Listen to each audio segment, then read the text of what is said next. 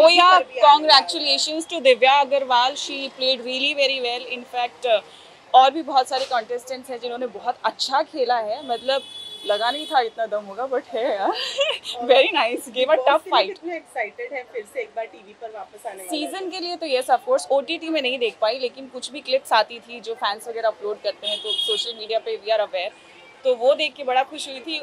Season के लिए हम awaiting because of course Salman sir होंगे।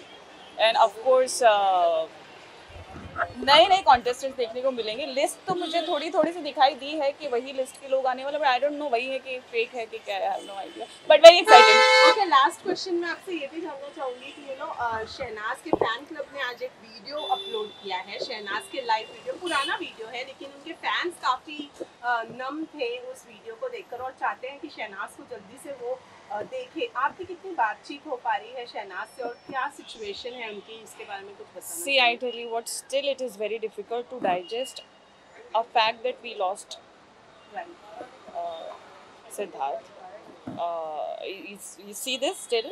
Yes. Uh, it's no, no. It is.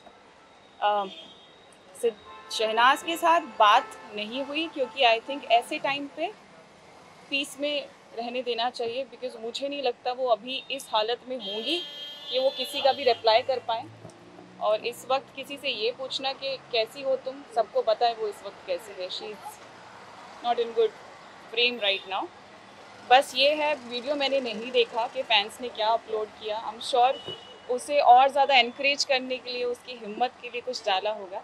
और मैं सिर्फ़ यही प्रे करूँगी कि जल्दी से ठीक हो और जल्दी से नॉर्मल लाइफ में वापस आ जाए because I am sure Siddharth उसको कहीं ना कहीं से देख रहा होगा और चाह रहा होगा that you have to go for it and you have to do what I couldn't accomplish with you तो अब उसके ऊपर और ज़िम्मेदारी आई है। And we are also waiting to see that